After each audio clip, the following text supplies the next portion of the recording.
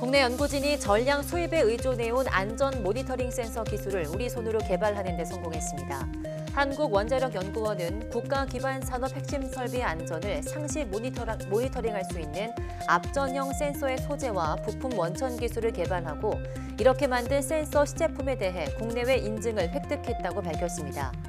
연구팀이 개발한 센서는 원전 등 다양한 산업 설비 이상 진동과 이물질 충격 등을 감시할 수 있는 가속 도계 센서 두 종과 배관 등의 누설과 결함을 탐지할 수 있는 음향 방출형 센서 두 종입니다.